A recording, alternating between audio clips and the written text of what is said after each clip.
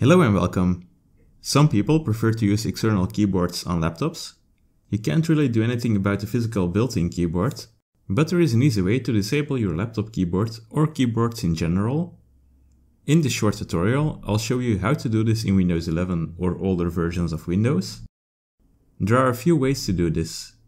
The easiest way to disable the laptop keyboard is by uninstalling the driver in the Windows Device Manager. The downside to this method is that Windows automatically reinstalls the driver after reboot, so keep this in mind. In the second method, I'll show you how to stop this. Click on the Windows search icon and type in Device Manager. In Device Manager, expand the keyboard section.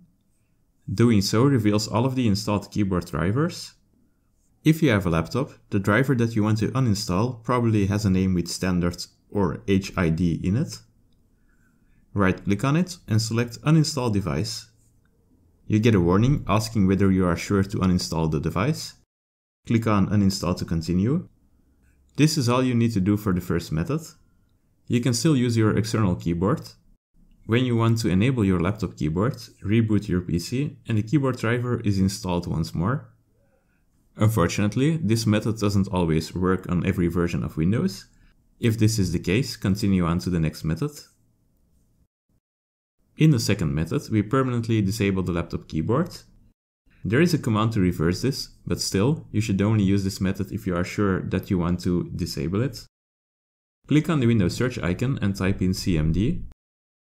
Right click on command prompt and select run as administrator we are going to disable the PS2 port service, which is responsible for the laptop keyboard.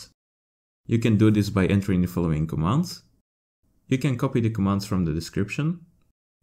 After entering, you should see the message success. On the next reboot, your laptop keyboard is disabled. Should you want to enable it once more, make sure that you have an external keyboard connected to the laptop. Again, you need to enter a command in CMD. On the next reboot, the laptop keyboard works as before. This concludes our tutorial on how to disable the laptop keyboard on Windows 11.